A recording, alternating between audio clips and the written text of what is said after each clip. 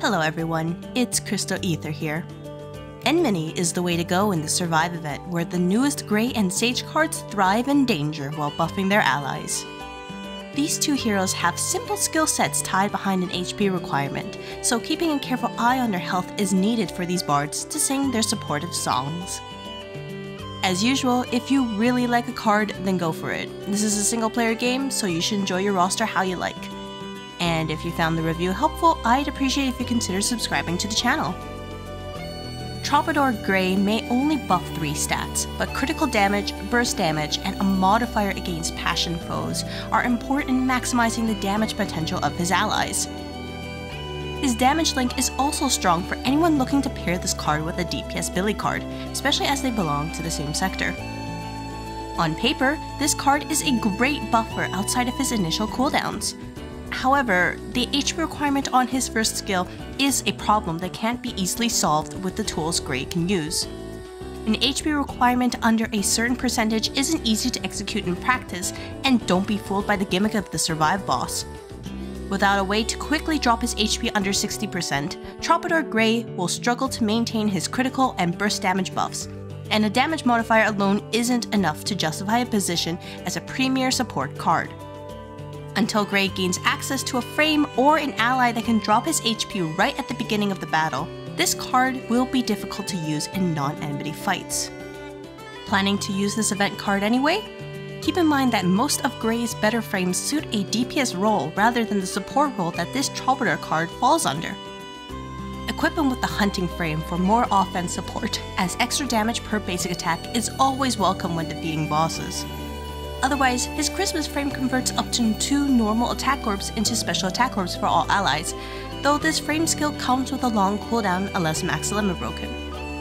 Unfortunately, Gray doesn't have any 3-star frames that can improve his buffing capabilities, so if you lack either of the frames I recommended, a generic BP boosting frame can work for Troubadour Gray.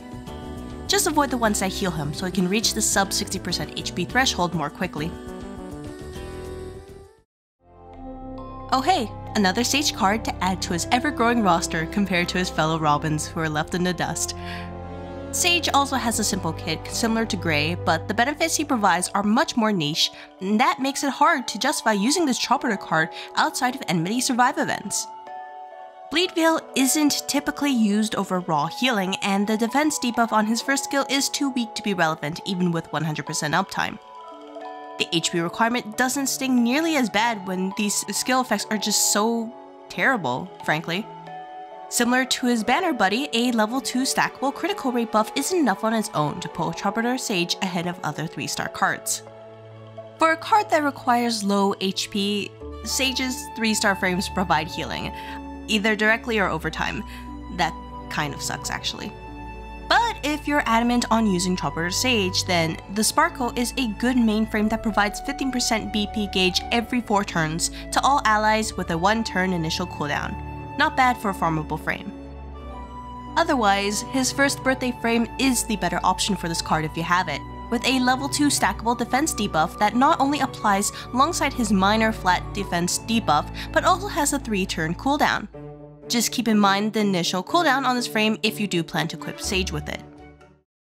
This melodic duel has some pretty amazing art, but their combat potential is held back until a way for the player to easily lower the HP becomes available. Ignoring that the 4th anniversary is less than a month away, Gray and Sage can perform their jobs well enough once they fall within that HP threshold, but ultimately fall short compared to the cards released within these past 4 weeks, especially when compared to the previous Survive event card set, the Wild Outskirts. In any case, that's all for this video review. I hope to see you all in the next video, and happy saving!